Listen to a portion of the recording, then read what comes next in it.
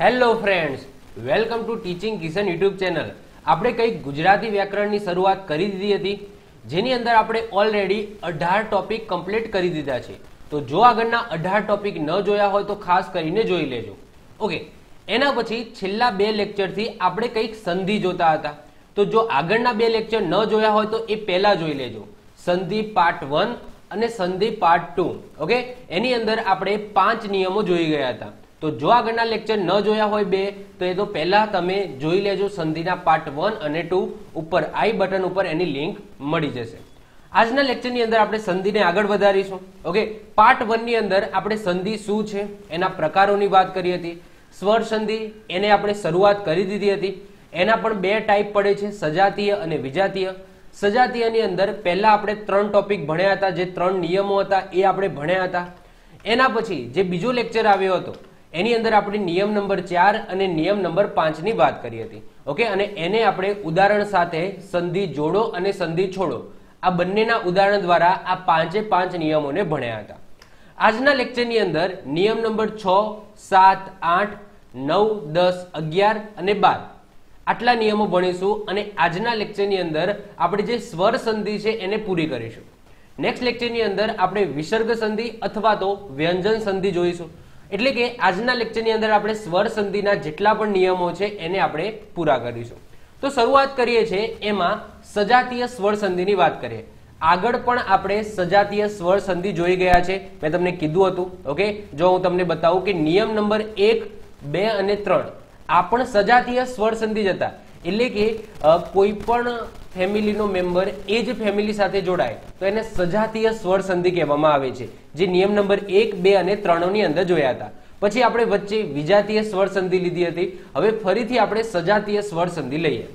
હવે, તમે અહીંયા સ્વરની અંદર ફોકસ કરશો, તો અ, આ, એ, ઐ, ઓ અને ઔ છે, ઓકે? જે અની તમને ફેમિલી દેખાય છે, એની આપણે વાત કરીએ.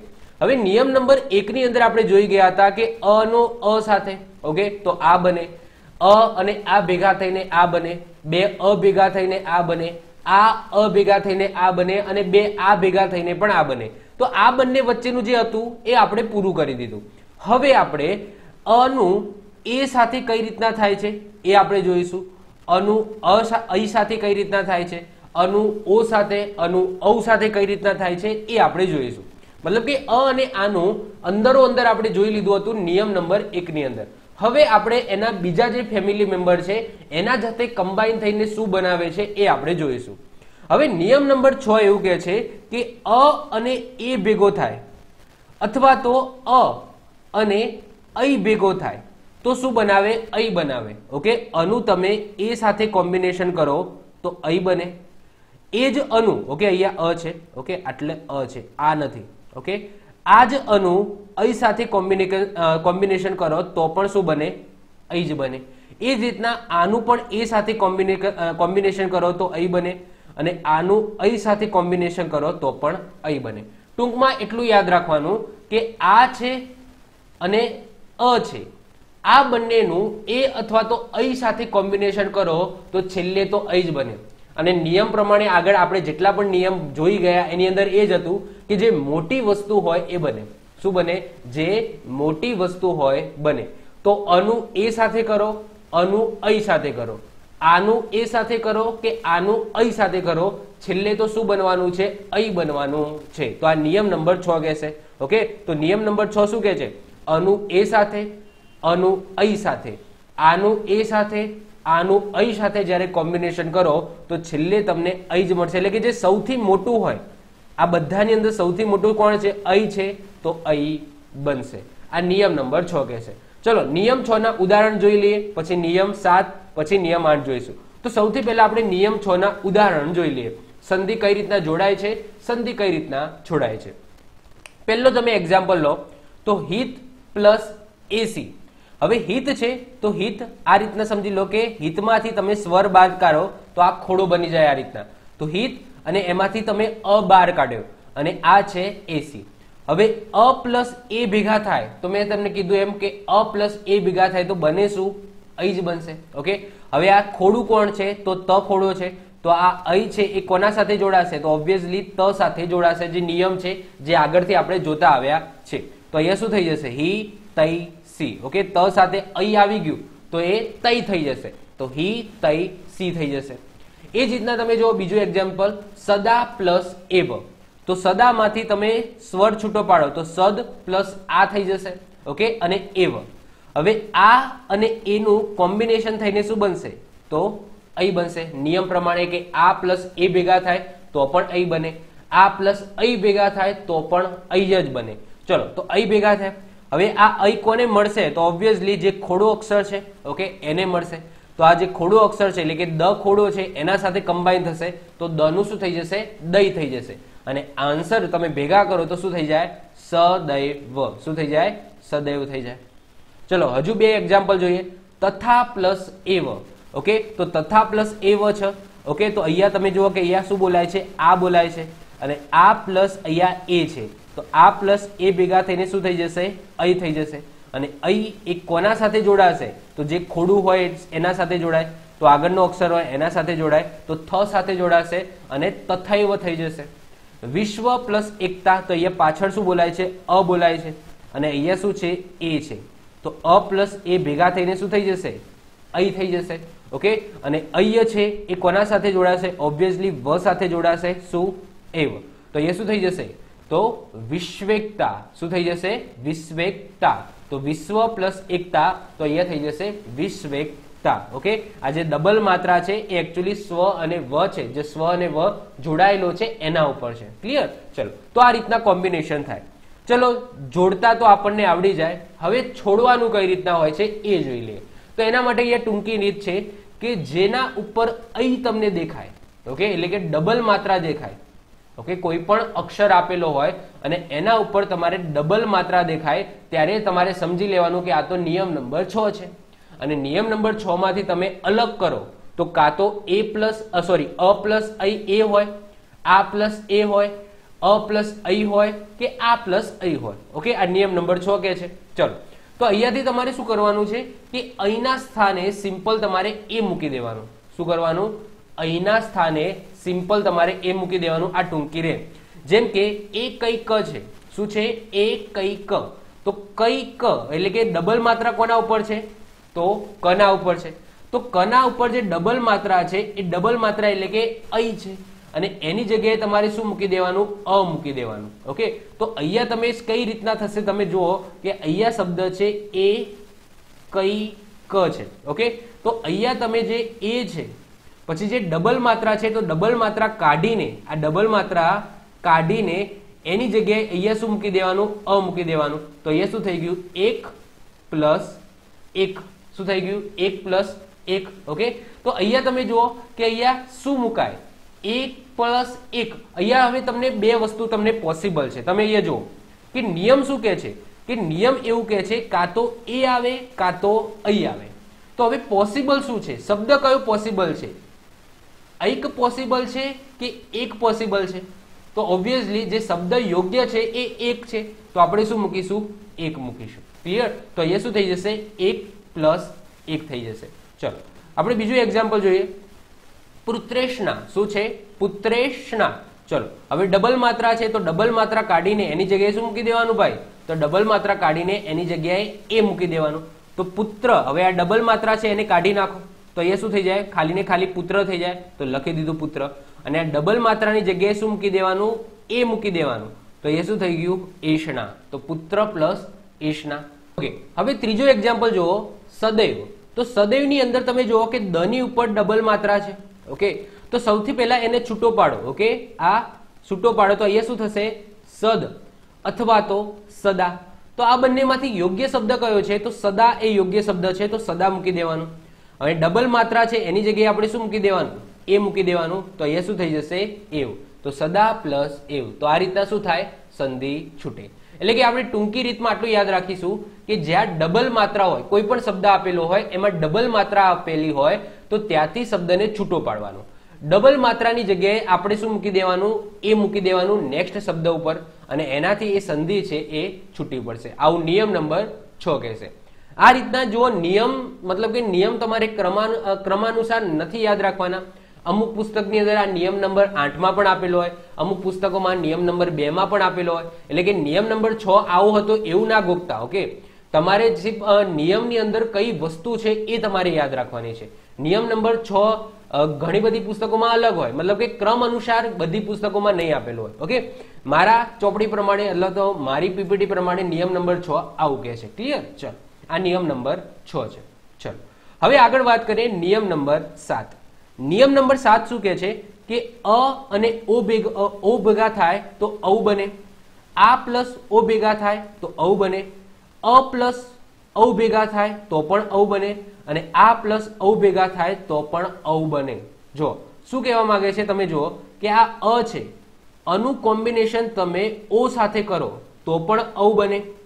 આનું કોમ્બિનેશન ઓ સાથે કરો, તો પણ ઔ બને. અનું કોમ્બિનેશન ઓ સાથે કરો, ઓકે, તો પણ ઓ બને.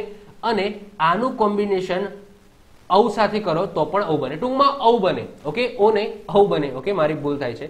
તો અ પ્લસ ઓ, ઔ, આ પ્લસ ઓ, ઔ, અ પ્લસ ઔ ઔ, આ પ્લસ ઔ ઔ. ટૂંકમાં ઔ બને, જે મોટું હોય એ બને.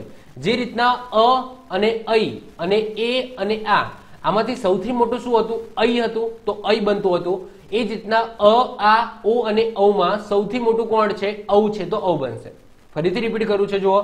કે અહીંયા જે ચાર શબ્દો હતા, કયા હતા? અ, આ, એ અને ઐ. આમાંથી સૌથી મોટું કોણ હતું? ઐ હતું. તો બધી વખતે ઐ બનતું હતું. એ જ રીતના નિયમ નંબર સાતની અંદર અ, આ ઓ અને ઔ છે. ઓકે? તો સૌથી મોટું ઔ છે, તો સૌથી મોટું હોય એ બનશે. ક્લિયર તો આ નિયમ નંબર શું કે છે? સાત કે છે. ઓકે, ચલો એના ઉદાહરણ જોઈએ એટલે તમને વધારે આઈડિયા આવે. નિયમ નંબર સાત, ચલો એના ઉદાહરણ જોઈએ. એમાં પહેલું છે ઉષ્ણ પ્લસ ઓદન તો ઉષ્ણ પ્લસ ઓદનની અંદર તમે જુઓ કે અહીંયા અણ છે, તો પાછળ અ બોલાય છે. ઓકે? તો આને ખોડો કરીને અ જે સ્વર છે એને બહાર કાઢ્યું. તો અહીંયા શું બનશે? અ અને ઓ બનશે. અને અ અને ઓ નું કોમ્બિનેશન થાય તો શું બને? ઔ બને. ક્લિયર તો અહીં ઔ લખી દીધું. તો ઉષ્ણ અને ઓદન, તો અહીંયા ઉષ્ણ એ ખોડો છે. ઓકે તો આ જે સ્વ જે સ્વર બન્યો ઔ, એ શેની સાથે જોડાશે? તો ઓબ્વિયસલી અણ સાથે જોડાશે. અને અણ સાથે ઔ જોડાય તો શું થઈ જશે? ઉષ્ણોદન. શું થઈ જશે? ઉષ્ણોદન. એટલે કે અણ ઉપર ડબલ માત્રા, કાનો અને ડબલ માત્રા થઈ જશે. અને બોલાય ઉષ્ણોદન. શું બોલાય ભાઈ? ઉષ્ણોદન. ચલો, હજુ એક એક્ઝામ્પલ લઈએ. મહા પ્લસ ઔષધિ. તો મહા ઔષધિની અંદરથી હમાંથી તમે આ સ્વર છે એ છૂટો પાડો. ઓકે? હા, હ, ખોડો થઈ જશે. હવે આ પ્લસ તમે ઓ કરો, તો બનશે શું? ઔ જ બનવાનું છે. તો મ પ્લસ ઔષધિ. હવે આ અ છે, એ કોને જોડાશે? ઓબ્વિયસલી હમાંથી દૂર કર્યો છે. તો હની અંદર જ ઔ જોડાશે. અને શું થઈ જશે? મહૌષધિ. શું થઈ જશે? મહૌષધિ. ક્લિયર એ જ રીતના બીજા એક્ઝામ્પલ જુઓ. જલ પ્લસ ઓદ તો શું થઈ જશે? જલૌદ. પરમ પ્લસ ઓદાર્ય તો શું થઈ જશે? પરમોદાર્ય. શું થઈ જશે? પરમોદાર્ય. એ જ રીતના સંધિ છોડોની અંદર જુઓ. તો મહોસ્વી. ઓકે, શું છે અહીંયા? મહોજસ્વી. તો અહીંયા તમે એને અલગ પાડો. તો અહીંયા શું થઈ જશે? મહા પ્લસ ઓજસ્વી હવે આની ટૂંકી રીતની અંદર તમે જુઓ કે જે આ ઔ હોય. ઓકે, જે શબ્દની અંદર તમને ઔ દેખાય. તો એની સ્થાને તમારે ઓ કરી દેવાનું. શું કરી દેવાનું? ઔની સ્થાને ઓ. જે રીતના આગળ શું કરતા હતા? અહીંની સ્થાને એ કરી દેતા હતા. એ જ રીતના અહીંયા ઔની સ્થાને ઓ કરી નાખવાનું. એક્ઝામ્પલ તરીકે તમે આ જ એક્ઝામ્પલ લઈ લો. મહોજસ્વી છે ઓકે મહોજસ્વી છે. તો એની અંદર તમને જે ઔ દેખાય છે, એટલે કે ડબલ માત્રા અને જે કાનો દેખાય છે, એને તમે દૂર કરો. હવે અહીંયા લખ્યું એટલે તમને ખ્યાલ આવે. મ હવ જસ્વી આવો શબ્દ છે ઓકે હવે તમારે જે આ કાનો છે અને ઉપરના જે ડબલ માત્રા છે, આટલાને તમારે શું કરવાનું છે? દૂર કરવાનું છે. હવે આટલાને દૂર કરો તો અહીંયા શું વધે? મ શબ્દ વધે. હવે મ શબ્દ યોગ્ય કહેવાય કે મહાશબ્દ યોગ્ય કહેવાય? તો ઓબ્વિયસલી મહાશબ્દ યોગ્ય કહેવાય, તો આપણે મહા છે એ અહીંયા લખી દીધું. અને જે આ કાનો અને ડબલ માત્રા છે, એની જગ્યાએ શું મૂકી દેવાનું? તો તમારે ઓ મૂકી દેવાનું. આ નિયમ પ્રમાણે, ટૂંકી રીત પ્રમાણે. તો અહીંયા શું થઈ જશે? ઓ જસ્વી થઈ જશે. ક્લિયર તો અહીંયા સિમ્પલ વસ્તુ, કાનો અને ડબલ માત્રાની જગ્યાએ તમારે ઓ મૂકી દેવાનું અને આગળનો શબ્દની અંદર કાં તો મ કતો મહા. જે સેટ થતું હોય. જેમ કે અહીંયા છે, ગુણૌષધિ છે. ઓકે ગુણૌષધિ છે. તો અહીંયા આગળ શબ્દ તમારે ગુણ પકડવાનું. તો ગુણ અને ગુણા. એમાંથી સૌથી સાચો શબ્દ કયો છે? ગુણ છે. તો આપણે ગુણ રાખ્યું. એના પછી કાનો અને ડબલ માત્રાની જગ્યાએ તમારે ઓ મૂકી દેવાનું છે. તો પ્લસ શું થઈ જશે? અસધી થઈ જશે. પરમૌદ. તો પરમૌદની અંદર પણ એ જ છે. પહેલો શબ્દ કયો છે? પરમ છે. તો પરમ અને પરમામાં કયો શબ્દ યોગ્ય છે? તો પરમ શબ્દ યોગ્ય છે. તો આપણે પરમ રાખ્યું. પ્લસ શું થઈ જશે? કાનો અને ડબલ માત્રાનો ઓ થઈ જશે. તો પ્લસ ઓધ. તો આ રીતના નિયમ નંબર સાત પ્રમાણે સંધિ છોડાય અને સંધિ જોડાય. સિમ્પલ છે. ઓકે, આવડી જાય એવું છે. જે ટૂંકી રીત હું તમને કહું છું, એને તમારે યાદ રાખવાની છે. મતલબ કે તમારી સામે કોઈ પણ શબ્દ આવે તો એની અંદર તમારે મેન ફોકસ એમાં કરવાનું જે વચ્ચેના શબ્દ ઉપર જે કાનો માત્ર કે જે રસવાય દીર્ઘ હોય, એના ઉપર ફોકસ કરવાનું. તમને અહીંયા શબ્દની અંદર કાનો અને ડબલ માત્ર દેખાય, એટલે તમને યાદ આવી જ જાય કે આને તમે છૂટું પાડો, તો આટલાનું તો શું બનવાનું છે? ઓ બનવાનું છે. ઓકે? અને આગળ તમારે પછી જોઈ લેવાનું કે મહ રાખવું કે મહા રાખવું ગુણ રાખવું તો ગુણા રાખવું કયો શબ્દ સેટ થાય છે? એ જ રીતના આની અંદર પણ એ જ હતું. કોઈ પણ શબ્દ આવે તો તમને ખબર પડે કે ભાઈ એના ઉપર ડબલ માત્રા છે. તો એ ડબલ માત્રાનું શું બનાવી દઈશ? હું એ બનાવી દઈશ. અને આગળનો જે શબ્દ છે, એની અંદર તમારે શું રાખવાનું? એક રાખવું, એકા રાખવું, પુત્ર રાખવું, પુત્રા રાખવું, જે શબ્દ યોગ્ય હોય એ તમારે મૂકવાનો. ઓકે? તો અહીંયા જે નિયમો છે, તમને એવું લાગતું હશે કે આટલા બધા નિયમો, પણ દરેક શબ્દ માટે પર્ટિક્યુલર એક નિયમ હોય, એના કાનો માત્રનો નિયમ હોય, એ કાનો માત્રનો નિયમ તમારે યાદ રાખવો પડશે અને એને અનુરૂપ જ તમારે જવું પડશે. તો આ હતું નિયમ નંબર છ અને નિયમ નંબર સાત. આગળ વધીએ નિયમ નંબર આઠ. નિયમ નંબર આઠ શું કે છે? કે તમે એ પ્લસ અ કરો. અત્યાર સુધી આપણે શું કરતા હતા? અહીંયા તમે છઠ્ઠાની અંદર જોયા કે અ પ્લસ એ કરતા હતા. અ પ્લસ એક કરો તો અહીં થાય. આ પ્લસ એ કરો તો અહીં થાય. અ પ્લસ અહીં કરો તો અહીં થાય અને આ પ્લસ અહીં કરો તો અહીં થાય. હવે જો એ આગળ હોય અને અ પાછળ જતો રહે, તો શું બને? તો અય બને. અહીં આગળ હોય અને અ પાછળ હોય, તો શું બને? આઈ બને. ઓ આગળ હોય અને અ પાછળ હોય, તો અ વ બને. અને ઔ આગળ હોય અને અ પાછળ હોય, તો શું બને? આવ બને. તો અહીંયા તમે સમજો કે આગળ પાછળ કરવાથી પણ આખો નિયમ બદલાઈ જાય છે. એટલે કે અ પ્લસ એ કરો તો અ બનતું હતું. પણ એ પ્લસ અ કરો તો અ બની જાય છે. દેખાય છે ને? કે અ પ્લસ એ કરો તો અ બની જતું હતું. પણ એને આગળ લઈ જાઓ અને અને પાછળ લઈ જાઓ, તો શું બની જાય છે? અય બની જાય છે. ઓકે તો આ નિયમ છે. આને આપણે અનુરૂપ આપણે શું કરીએ? ઉદાહરણ આપણે જોઈએ. તો સૌથી પહેલા આપણે જોઈશું એ પ્લસ અ બરાબર અય. ઓકે આ નિયમને પકડીને ઉદાહરણ જોઈએ. તો સૌથી પહેલા આપણે જોઈએ કે એ પ્લસ અ બરાબર શું બને છે? અય બને છે. ચલો, એનું ઉદાહરણ જોઈએ. તો અહીંયા તમે જુઓ કે ને પ્લસ અન. શું છે? ને પ્લસ અન છે. તો અહીંયા શું કરીશું?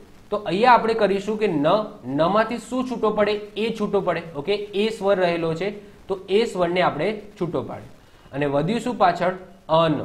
તો અહીંયા તમે જુઓ કે કોમ્બિનેશન શેનું બને છે? એ અને અનું કોમ્બિનેશન બને છે. અને અ અને અ ભેગા થાય તો શું બને? અય બને. તો આપણે લખી દીધું અય હવે ન છે એ ખોડો છે, ઓકે? તો આ અય છે એ કોની સાથે જોડાશે? તો અય એ નની સાથે જોડાશે. તો ન અને અ ભેગા થાય તો ન થઈ જશે. ય છે એ એમનો એમ અને ન છે એ એમનો એમ. ક્લિયર તો આ રીતના બનશે ન ય ન. તો સાહેબ, આ તો બહુ કોમ્પ્લિકેટેડ કહેવાય. મતલબ કે આપણને ખબર શું પડે કે ભાઈ નયન શબ્દ આવ્યો તો એની અંદર આવો કંઈક નિયમ રહેલો હશે. યસ તમારે આ શબ્દ પકડવાનો છે અય હંમેશા કોઈ પણ શબ્દ તમને આપેલો હશે તો એની અંદર ય હશે હશે અને હશે. જેમ કે ન ય ન છે. પછી ચ, ય, ન છે વિજય છે, પછી એ જુઓ, સ, ય, ન છે સંજય છે. તો તમને ય જોવા મળશે અને યની આગળનો શબ્દ એ કાના માત્ર વગરનો હશે. જેમ કે અહીંયા તમે જુઓ કે અહીંયા ન, ય છે, તો ન છે, એના આગળનો શબ્દ ન છે, એ કાના માત્ર વગરનો છે. ય છે, તો યના આગળનો શબ્દ જુઓ, કાના માત્ર વગરનો છે. અહીંયા તમે જુઓ, જ, ય છે, તો યની આગળનો શબ્દ જ, કાનો માત્ર વગરનો છે. પછી અહીંયા તમે જુઓ, ય ન તો યની આગળનો શબ્દ સ, કાના માત્ર વગરનો છે. સંજય, તો જ યની આગળનો શબ્દ જ, કાનો માત્ર વગરનો છે. ઓકે? એટલે કે ટૂંકમાં કોઈ પણ શબ્દ આપેલો હોય તો એની અંદર ય હશે. અને યની આગળનો શબ્દ એ કાના માત્ર વગરનો હોય. તો આ શું થાય? અય થાય. ઓબ્વિયસલી અય જ થાય. કારણ કે જ ય છે. તો જની અંદર અ રહેલો છે. તો અ અને ય થવાનું છે ઓકે આજે આને સ્વર છૂટો પાડો આમાંથી, તો આની અંદર અ નીકળે, તો અય થવાનું છે. તો આવો કોઈ શબ્દ આવે જેની અંદર ય રહેલો હોય અને યની આગળનો શબ્દ એ કાનો માત્ર વગરનો હોય, એટલે કે અય બનતો હોય, ત્યારે આ નિયમ આપણે એપ્લાય કરીશું. બીજા એક્ઝામ્પલ જોઈએ. ચે પ્લસ અન, તો શું થઈ જશે? ચ, ય, ન. વિજય પ્લસ અ, તો વિજય ઓકે કારણ કે આની અંદર તમને જો શું રહેલો છે? જે છે, તો અહીંયા એ રહેલો છે. અ તો અહીંયા બનવાનું શું? અ ય બનવાનું. ઓકે તો અહીંયા શું થઈ જશે? વિજય. જે રીતના અહીંયા ઓપરેશન કર્યું, તો કે આ ઓપરેશનને ધ્યાનથી સમજી લેજો, એટલે બીજા ઓપરેશન ઓટોમેટિક તમને આવડી જશે. ચલો. હવે આની અંદર શોર્ટકટ મેથડ એ જ છે કે જે ય હોય, યની આગળ એ કરીને યના સ્થાને અ મૂકી દેવાનું. ઓકે આવું કોઈ શબ્દ આવે છે અને એની સંધિ છોડવાની આવે છે. છોડવામાં જ પ્રોબ્લેમ થાય છે. જોડવામાં તો પ્રોબ્લેમ થતી નથી. તો આવું કોઈ શબ્દ આવ્યો? તો એ શું કરવાનું કે યની આગળ એ કરી દેવાનું. તો યની આગળનો જે શબ્દ હોય, એ શું છે? ચ છે. તો એને શું કરી દેવાનું? ચે કરી દેવાનું. કરી દીધું છે. હવે યના સ્થાને શું કરી દેવાનું? અ કરી દેવાનું. તો આના સ્થાને અ કરી દો તો અ ન. તો બોલો, છંદી છૂટી થઈ ગઈ. ચે પ્લસ અ ન. અહીંયા તમે જુઓ, બીજાની અંદર વિજય લખેલું છે. તો વિજયની અંદર ય છે તો યની આગળ શું તમે કરી દેશો? તો એ કરી દેશો. તો એ શું થઈ જશે? વિજય થઈ જશે. ઓકે? અને ય છે યની સ્થાને શું કરી દેશો? અ કરી દેશો. તો વિજે પ્લસ અ છંદી છૂટી પડી ગઈ ચલો, એ જ રીતના બીજા હજુ બે એક્ઝામ્પલ જોઈએ. કે શ, ય, ન છે. તો ય છે તો યના આગળના શબ્દોમાં શું કરી દેવાનું? એ કરી દેવાનું. એટલે કે ઉપર શું કરી દેવાનું? માત્ર કરી દેવાનું. ઓકે? તો અહીંયા શું થઈ જશે? સે થઈ જશે. અને ય ન છે તો યની જગ્યાએ અ કરી દેવાનું. તો અ ન થઈ જશે. સંજય તો અહીંયા સંજય થઈ જશે, કારણ કે ઉપરના આગળનો શબ્દ છે એના ઉપર, માત્ર કરવાનો અને યને સ્થાને અ કરી દેવાનું. તો આ રીતના એની સંધિ પણ છૂટી પડી જાય. તો અહીંયા જે લાલ અક્ષરમાં જે ટૂંકી રીત કરીને લખેલું છે ટૂંકમાં, ઓકે, એ તમારે યાદ રાખવાનું છે, જેનાથી તમે જે સંધિ છોડવાનું હોય એ તમે પ્રોપરલી છોડી શકો. ચલો, હવે બીજો નિયમ જોઈએ. અઈ પ્લસ અ બરાબર આય થાય, ઓકે? અહીંયા તમે જુઓ, એ પ્લસ અ બરાબર અય થતું હતું. એ જ રીતના અઈ પ્લસ અ બરાબર આઈ થાય, ઓકે? આ ય. ચલો. આની અંદર કઈ રીતના ઓળખાશે એ પણ હું તમને કહી દઉં છું.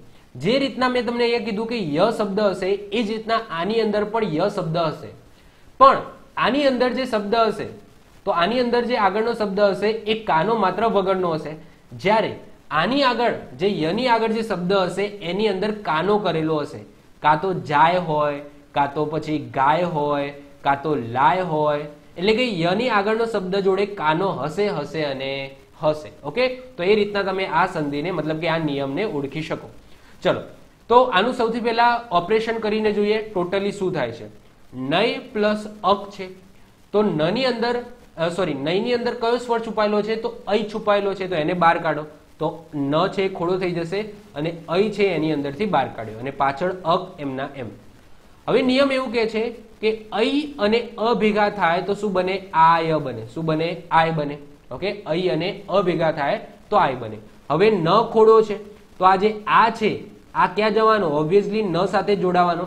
અને આ ન સાથે જોડાય તો શું બની જાય? ના બની જાય. અને ના પછી પાછળ શું છે? ય અને ક છે.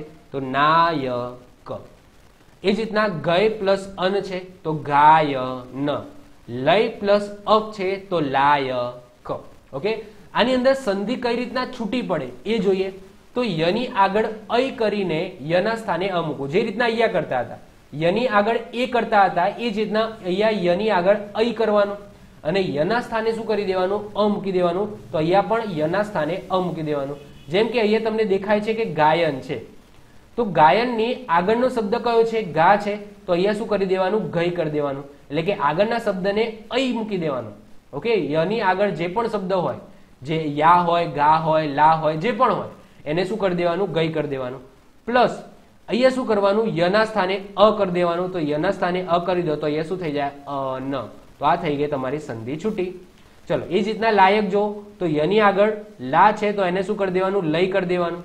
પ્લસ યના સ્થાને અ મૂકી દો તો અ, ક. એ જ રીતના અહીંયા જુઓ, ગાયન છે. એ જ વસ્તુ છે, ઓકે? આ જ બે વસ્તુ મેં નીચે લીધેલી છે, મેં તમને સમજાવી દીધી. તો ટૂંકમાં અહીંયા શોર્ટકટ શું રહેશે? કે આપણે યના સ્થાને અ કરીને યના જગ્યાએ અ મૂકી દેવાનું. ઓકે? તો અહીંયા આ રીતના કોઈ પણ બે શબ્દો તમને આપી દે. કોઈ પણ બે શબ્દો તમને આપી દે કે ચયન. તો ચયન, તો અહીંયા ય આપેલો હોય એટલે તમારા માઇન્ડની અંદર આવી જવું જોઈએ કે ય છે અને યની આગળનો શબ્દ કાનો માત્ર વગરનો છે. તો અહીંયા નિયમ નંબર આઠ આવશે. અને નિયમ નંબર આઠ એવું કહેતો હતો કે આગળનો જે શબ્દ હોય, ઓકે? યની આગળનો શબ્દ હોય, એની જગ્યાએ એ કરી દેવાનું. ઓકે? અને એ કર્યા પછી પાછળ અની જગ્યાએ અ ન કરી દેવાનું. ઓકે? આ રીતના પોસિબલ થાય. અને આની અંદર શું કરવાનું? અઈ કરી દેવાનું છે. અ, અઈ, એ હતું એની જગ્યાએ, આમાં અઈ કરવાનું છે અને યના સ્થાને અ કરી દેવાનું છે. ક્લિયર તો આ નિયમ નંબર આઠ. એના બે ઉદાહરણ જોયા. હજુ બે બાકી છે. હવે બીજા બે તમે જુઓ. આ બે ઉદાહરણ છે એ આપણે જોઈ લીધા. હવે નીચેના જે બે છે, એની આપણે વાત કરીએ કે ઓ પ્લસ અ કરો તો અ વ થાય. અને ઔ પ્લસ અ કરો તો આ વ થાય. ઓકે ઓ પ્લસ અ કરો તો અ વ થાય અને ઔ પ્લસ અ કરો તો આ વ થાય. ચલો, એના બે આપણે ઉદાહરણ જોઈએ. સૌથી પહેલા વાત કરીએ. ઓ પ્લસ અ કરો તો એનું શું થાય? અ વ થાય. ચલો, જોઈએ. જેમ કે ભો પ્લસ અ ન, તો ભની અંદર તમે જુઓ, ઓ રહેલો છે. તો એ ભને ખોડો કરીને ઓ એને બહાર કાઢો. અને પાછળ શું છે? અ ન છે. હવે ઓ અને અ ભેગા થઈને નિયમ શું કહે છે? અ, વ થાય. શું થાય? અ, વ. તો ઓ અને અ ભેગા થઈને અ, વ કરી નાખ્યો. હવે આ ભ ખોડો છે, તો ઓબ્વિયસલી અ કોના જોડે જોડાશે? તો અ છે, એ ભ સાથે જોડાવાનો છે. તો અ ભ સાથે જોડાઈને ભ બનાવી દેશે. અને અહીંયા વન, તો વન. તો અહીંયા શું થઈ જશે? ભ વ, ન થઈ જશે.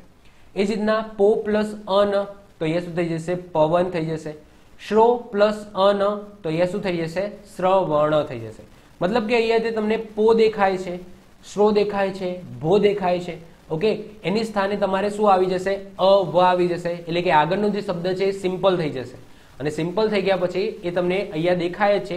હવે આની જો સંધિ છોડવાની હોય તો શું પ્રોબ્લેમ થાય છે? એ જુઓ. કે અહીંયા આપણે ય બનતો હતો ને, તો અહીંયા વ બને છે.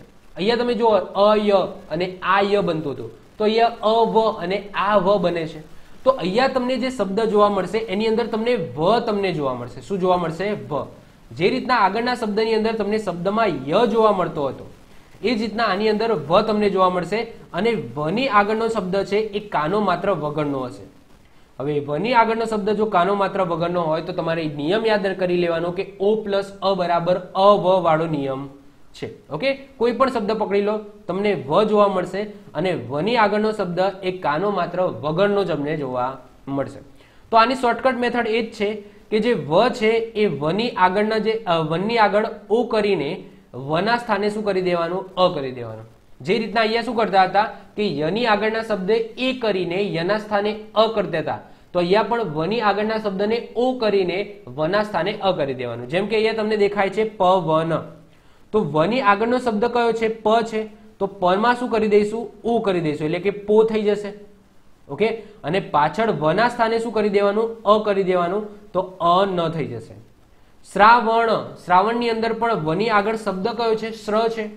તો શ્રની અંદર શ્રો થઈ જશે. ઓકે? અને વને સ્થાને અ કરી દો. તો એ શું થઈ જશે? વણ. ઓકે? અહીંયા અણ છે. અણ. એટલે કે અણ. ક્લિયર? ચલો. એ જ રીતના હવે ચોથો નિયમ જુઓ. કે ઔ પ્લસ અ બરાબર આ વ થાય. તો જે રીતના અહીંયા યા આ, ય થતું હતું, એ જ રીતના અહીંયા શું થાય છે? આ વ થાય છે.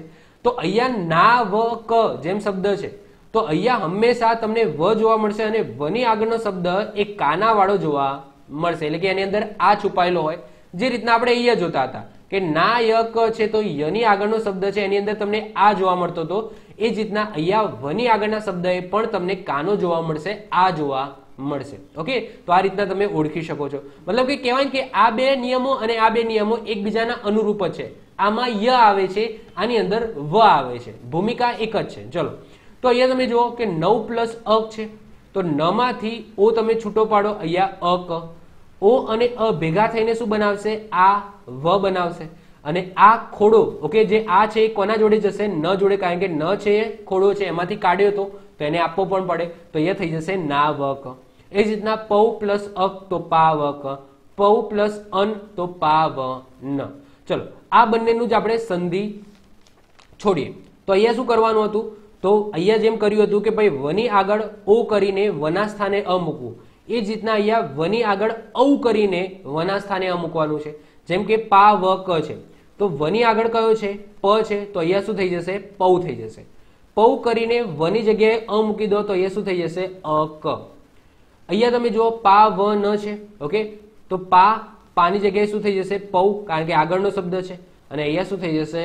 ન તો આ થઈ ગઈ તમારી સંધિ છૂટી. ક્લિયર તો મતલબ કે આમ જોવા જઈએ ને તો બહુ સહેલું છે. તમારે ખાલી પ્રેક્ટિસ કરવી પડશે. ઓકે? આ જે નિયમો છે એને તમે એક વખત તમારા ચોપડામાં લખો. એકબીજા સાથે તમે કમ્પેર કરો. દરેકમાં તમને સંધિનું અલગ અલગ રૂપ જોવા મળશે અલગ અલગ નિયમો જોવા મળશે. પણ જો તમે આની પ્રેક્ટિસ કરશો નિયમોની, તો સો ટકા તમને એક્ઝામની અંદર કોઈ શબ્દ આપેલો હશે. નાઇન્ટી પર્સન્ટેજની અંદર, નેવું ટકાની અંદર તમને સંધિ છોડવાનું જ કહેશે. ઓકે? સંધિ જોડવાનું નહીં આવે, સંધિ છોડવાનું જ કહેશે. અને તમને કોઈ શબ્દ આપેલો હશે, તો તમે એને જોઈને જ તમે કહી દેશો ભાઈ, આની અંદર આવું થશે. જેમ કે અહીંયા મહોજસ્વી છે, તો અહીંયા તમને ખબર પડી જાય કે ભાઈ, કાનો અને ડબલ માત્રા છે, એટલે કે ઓ વાળો નિયમ છે. અને ઓ વાળો નિયમ હોય ત્યારે શું કરવાનું હતું? અહીંયા ઓની જગ્યાએ આ ઓ કરવાનું હતું અને પછી શું કરવાનું હતું? સિમ્પલ એ શબ્દને છૂટા પાડવાના હતા. મતલબ કે નિયમ છે એ કઈ રીતના બન્યો છે એ તમને ટોટલી યાદ આવી જશે. ઓકે?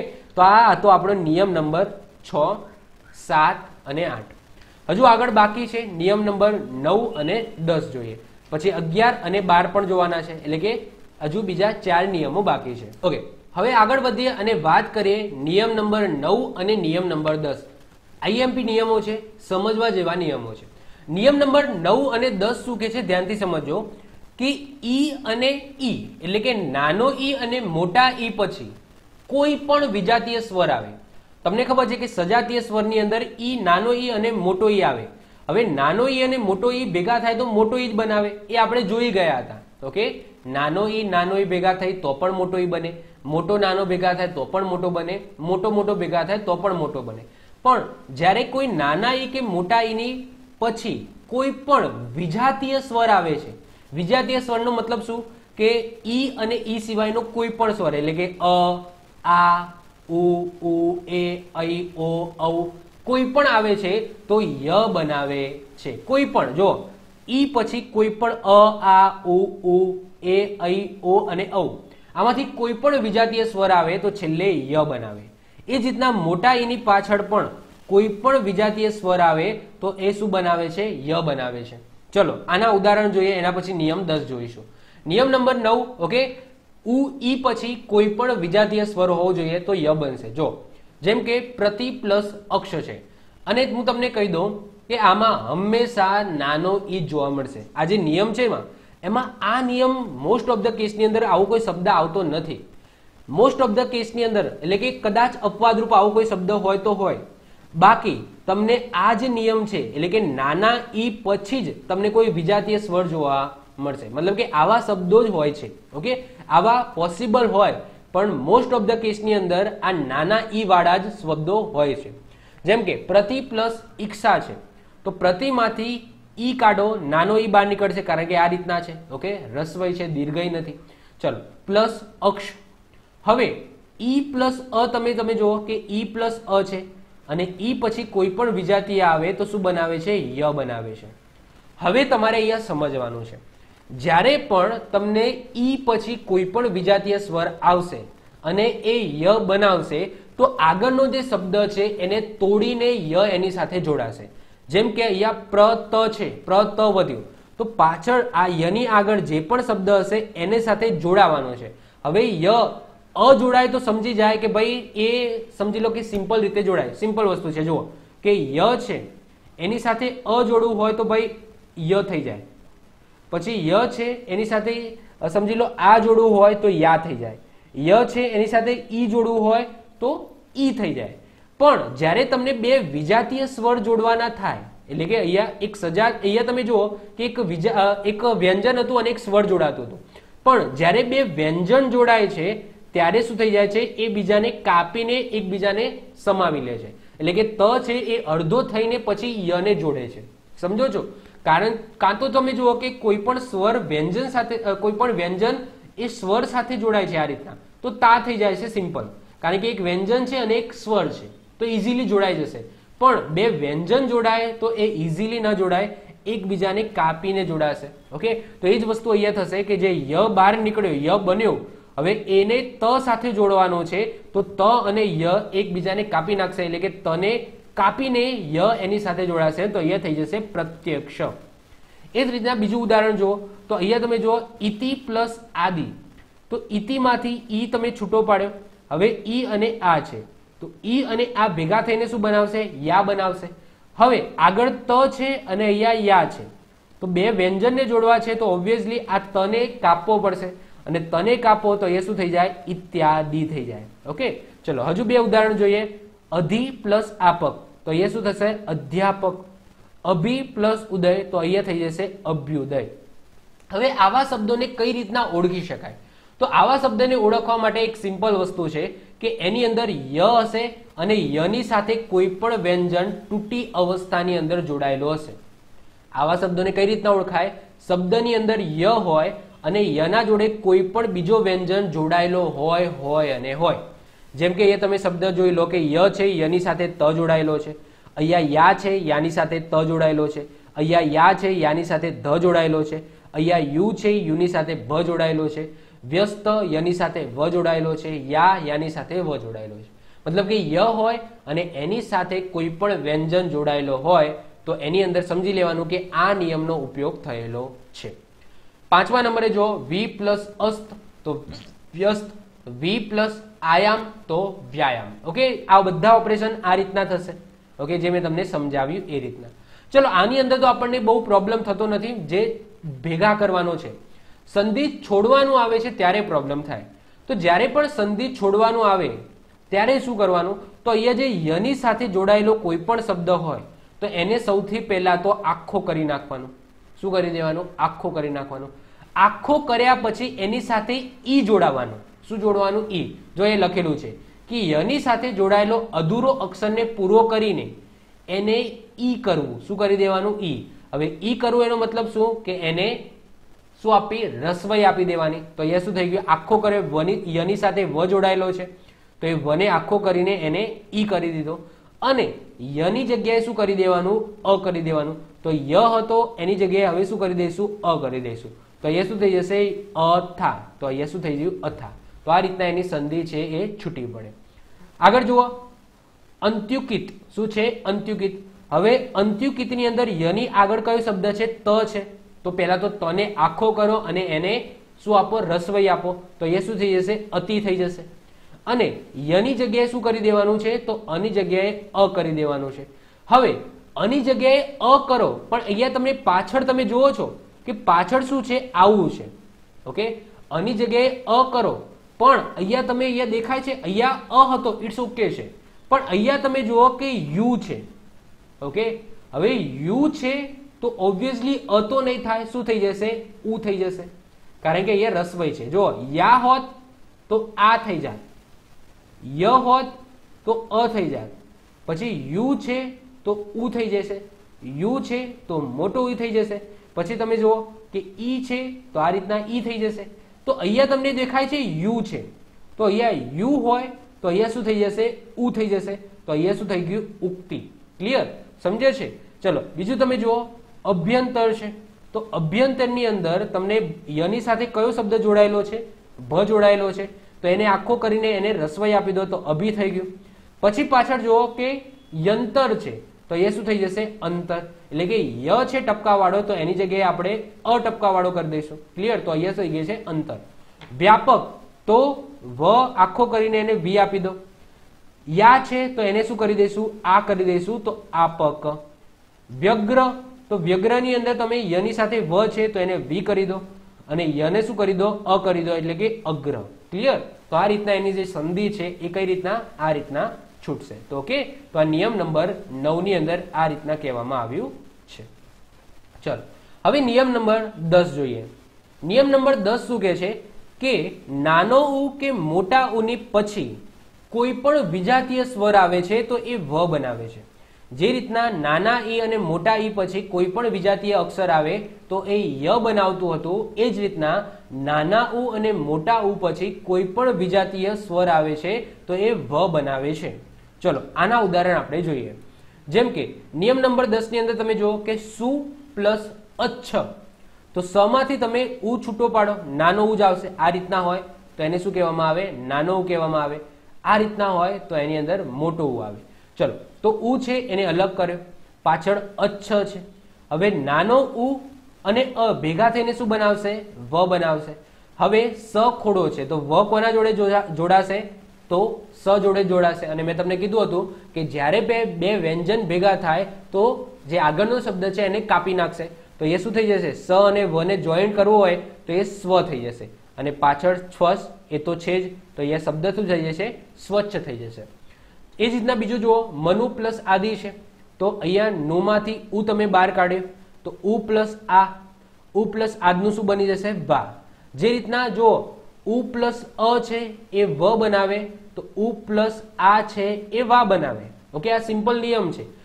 ઉ પ્લસ એ હોય ઓકે તો એ વે બનાવે. ઓકે હવે એવું ના સમજતા કે બધાની અંદર વ બને. ના. ઉ અને એ થાય તો પછી એ વે બનાવે. ઉ પ્લસ અહીં ભેગા થાય તો વય બનાવે. ઓકે સિમ્પલ વસ્તુ. પણ બને શું? વ બને. ઓકે એમાં જે પણ સ્વર હોય, એ રીતના અહીંયા કાનો માત્ર વને તમારે આપી દેવાનો રહેશે. ચલો. તો અહીંયા ઉ પ્લસ આ ભેગા થાય તો શું બન્યા? વા બન્યા. તો વા છે એ કોના સાથે જોડાશે? ઓબ્વિયસલી વ સાથે જોડાશે, કારણ કે વ માંથી આપણે દૂર કર્યો છે. તો વને કાપી નાખશે અને શું થઈ જશે? મનવાદી. શું થઈ જશે? મનવાદી. ચલો, એ જ રીતના ત્રીજો અને ચોથો જો, તો સુ પ્લસ આગત, તો એ શું થઈ જશે? સ્વાગત થઈ જશે. તનુ પ્લસ ઈ, તો અહીંયા શું થઈ જશે? તન્વી. શું થઈ જશે ભાઈ? તન્વી. તો અહીંયા તમે જુઓ, નિયમ કયો લાગુ પડે છે? તો અહીંયા ઈ છે અને અહીંયા ઉ છે. તો ઉ પ્લસ ઈ ભેગા થાય, તો એ શું બનાવે? વી બનાવે શું બનાવે? વી. મેં તમને અહીંયા નિયમ કર્યો. ભાઈ, ઉ છે અને ઈ ભેગા થાય. તો અહીંયા શું બનવાનું, તો ઓબ્વિયસલી વી જ બનવાનું ઓકે તો વી બનવાનું અને વી એ નો- સાથે જોડાય તો એ શું થઈ જશે? તન્વી શું થઈ જશે? તન્વી થઈ જશે. ક્લિયર ચાલો. હવે આ જ વસ્તુને આપણે સંધિ છોડોની અંદર જોઈએ. હવે એના પહેલા શોર્ટકટ જે વસ્તુ લખેલી છે, એને આપણે સમજીએ. હવે શોર્ટકટ મેથડની અંદર એવું લખેલું છે કે વની સાથે જોડાયેલા અધૂરા અક્ષરને પૂરો કરીને ઉ કરવું આગળ શું હતું? યની સાથે જોડાયેલા અધૂરા અક્ષરને આખો કરીને ઈ આપતા હતા. એ જ રીતના અહીંયા શું આપવાનું? પૂરો કરીને ઉ આપવાનું અને વના સ્થાને શું કરી દેવાનું? અ મૂકી દેવાનું. જેમ કે અન્વેષણ છે. તો અહીંયા તમને વની સાથે જે શબ્દ જોડાય છે, અધૂરો છે, એને આખો કરીને એને શું કરી દેવાનું? ઉ આપવાનું એટલે કે નું આપવાનું એટલે કે અનુ થઈ ગયું. અનુ થઈ ગયા પછી જે વ છે, એની જગ્યાએ મેં તમને કીધું એમ, અ મૂકી દેવાનું. તો વે છે તો શું બની જશે? એ બની જશે. એટલે કે અહીંયા થઈ જશે એ ક્ષણ. સ્વાગત છે તો સ્વાગતની અંદર શું થઈ જશે? તો સુ પ્લસ આગત થઈ જશે. ઓકે? જે વાની અંદર જે શબ્દ જોડાયેલો છે અધૂરો. ઓકે? તો એનું શું થઈ જશે? શું બની જશે? શું બની ગયું? પ્લસ અહીંયા શું થઈ જશે? આગત. શું થઈ જશે? આગત. તો આ રીતના એનું શું થશે? ઓકે? સંધિ જોડો અને સંધિ છોડો થશે. તો આઈ હોપ સો નિયમ નંબર નવ અને નિયમ નંબર દસ ઓકે ક્લિયર હશે ઓકે નવ અને દસ, કે ઈ સાથે કોઈ પણ વિજાતીય સ્વર આવે તો ય બનાવે અને ઉ સાથે કોઈ પણ વિજાતીય સ્વર આવે તો વ બનાવે. હવે સ્વરોના છેલ્લા બે નિયમો જોઈ લઈએ, બહુ ઇમ્પોર્ટન્ટ નથી, પણ કદાચ એક્ઝામની અંદર પૂછાય. અને આની અંદર જે શબ્દો છે બહુ લિમિટેડ છે અને પૂછાશે તો અહીંયા હું જે શબ્દો કરાવીશ તો એમાંથી જ કદાચ હશે. નિયમ નંબર અગિયાર એવું કહે છે કે અની સાથે રૂ જોડાય તો અ ર બનાવે. આની સાથે રૂ જોડાય તો પણ અ ર બનાવે. એટલે કે અ અને રૂ ભેગા થાય તો અ ર બનાવે. અ સોરી આ અને રૂ ભેગા થાય તો પણ અ ર બનાવે. ઓકે? તો અ અને આ જોડે જો રૂ ભેગો થશે, ઓકે રૂ વાળો કોઈ શબ્દ ભેગો થશે, તો એ શું બનાવશે? અ, ર. ચલો, એના આપણે ઉદાહરણ જોઈએ. નિયમ નંબર અગિયારના ઉદાહરણ તમને આ બાજુ આપેલા છે કે અ પ્લસ રૂ એટલે કે અ ર. જેમ કે સપ્ત પ્લસ ઋષિ છે, ઓકે? સપ્ત પ્લસ ઋષિ. તો તની અંદર શું રહેલો હોય છે? અ રહેલો હોય છે. તો અને તમે બહાર કાઢો. તો સપ્ત પ્લસ અ પ્લસ ઋષિ. હવે અ અને રૂ ભેગા થાય તો મેં તમને કીધું એમ, અ ર બનાવે. શું બનાવે? અ ર. હવે અહીંયા એક વસ્તુ ઇન્ટરેસ્ટિંગ છે, એ તમારે સમજવાની છે. હવે તમે અહીંયા અ ર બનાવ્યો. તો આમાંથી જે અ છે, એ કોને આપવાનો? તને આપવાનો. આ જે ત છે, એ ખોડો છે, તો આ અ છે, એ તને આપી દો. તો અહીંયા સપ્ત એ પૂરું થઈ ગયું.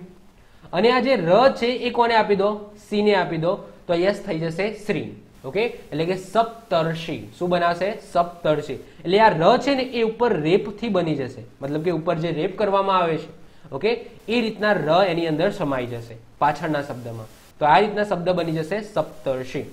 એ જ રીતના નવો શબ્દ જુઓ કે બ્રહ્મ પ્લસ ઋષિ છે.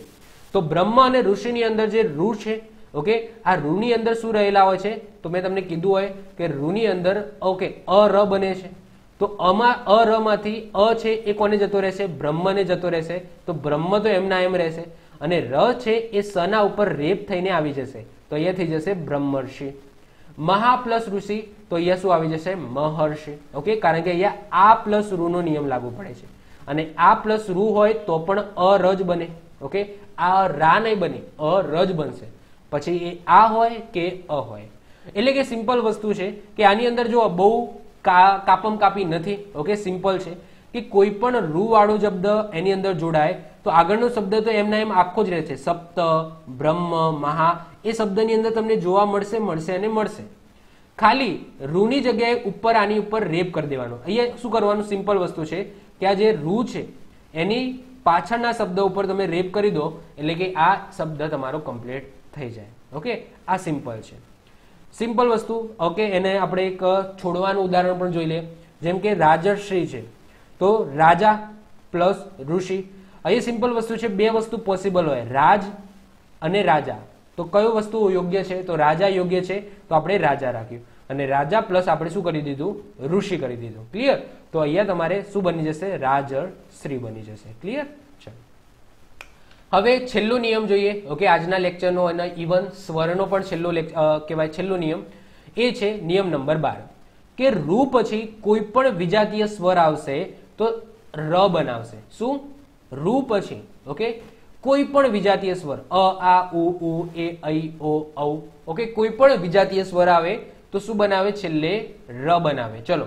તો આ નિયમને આપણે લગતા એક્ઝામ્પલ જોઈએ. ઓકે હવે નિયમ નંબર બાર એટલે રૂ પછી કોઈ પણ વિજાતીય સ્વર આવે ઓકે એક્સ વાય ઝેડ કોઈ પણ વિજાતીય સ્વર આવે, તો શું બને ભાઈ? ર બને. શું બને? ર. અને ર છે એ એની અનુસંધાનમાં બનશે. મતલબ કે રૂ પ્લસ અ થશે તો ર બનશે. પછી રૂ પ્લસ આ હોય તો રા બને. રૂ પ્લસ ઉ હોય તો રૂ બને. રૂ પ્લસ ઉ હોય મોટો તો એ રીતના રૂ બને. પછી રૂ પ્લસ એ હોય તો રે બને. ઓકે એટલે કે જે સ્વર આવશે એની અનુસંધાનમાં આ ર ની અંદર પણ ફેરફાર થશે. જેમ કે પહેલો એક્ઝામ્પલ જુઓ, પિતૃ પ્લસ આજ્ઞા છે. તો પિતૃ આજ્ઞામાં તમને આ જે દેખાય છે ને આ, તો આની અંદર રૂ રહેલો હોય છે. શું હોય છે? રૂ. તો પિતૃમાંથી તમે રૂ છૂટો પાડો, તો અહીંયા શું થઈ જશે? પિત્ત પ્લસ રૂ. અને પાછળ આજ્ઞા છે. તો રૂ અને આ છે. હવે રૂ પછી કોઈ પણ વિજાતીય સ્વર, તો અહીંયા આ શબ્દ આવ્યો.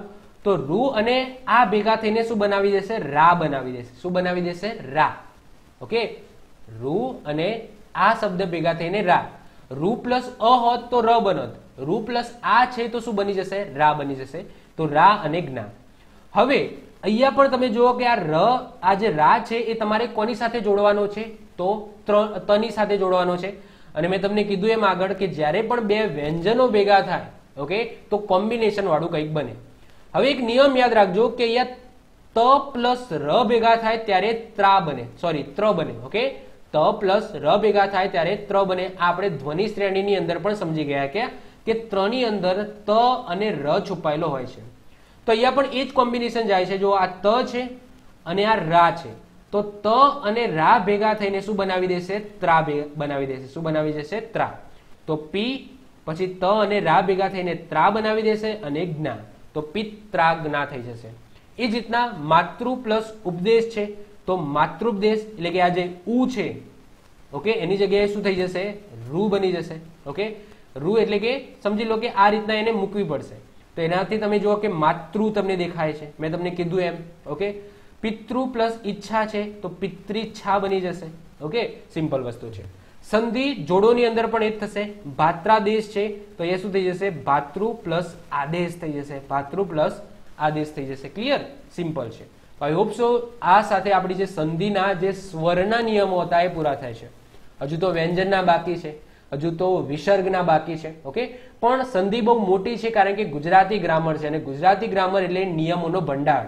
અને એ નિયમો સમજો તો જ તમે કહેવાય કે ગુજરાતીના જ્ઞાતા બની શકો પ્રોપરલી બાકી આપણે લખવા કાતા તો જેમ તેમ સંધિ અને જોડણી લખતા જઈએ છીએ ઓકે? પણ આ છે એના પ્રોપર નિયમો. તો નેક્સ્ટ લેક્ચરની અંદર આપણે વિસર્ગ સંધિની વાત કરીશું. એના પછીના નેક્સ્ટ લેક્ચરની અંદર આપણે હવે બે લેક્ચરની અંદર આપણે સંધિ પૂરી કરી દઈશું ઓકે વધારે હવે નહીં ખેંચે. એક લેક્ચરમાં આપણે વિસર્ગના લઈ લઈશું અને બીજા લેક્ચરની અંદર આપણે વ્યંજનના લઈ લઈશું અને બે લેક્ચરની અંદર હવે સંધિ આપણે પૂરી કરી દઈશું. તો જો તમને વીડિયો ગમે તો વિડીયોને લાઇક કરી દો, તમારા મિત્રો સાથે શેર કરી દો. જો તમે આ ચેનલ પર નવા હો તો ચેનલને સબસ્ક્રાઇબ કરીને બાજુમાં રહેલું બે લાઇકન દબાવી દો. જેથી કોઈ નવો વીડિયો અપલોડ કરું તેની નોટિફિકેશન તમને મળતી રહે, તમારો કોઈ પણ વીડિયો મિસ ના થાય. તો મળીએ છે નેક્સ્ટ લેક્ચરમાં બાય ઓલ ધ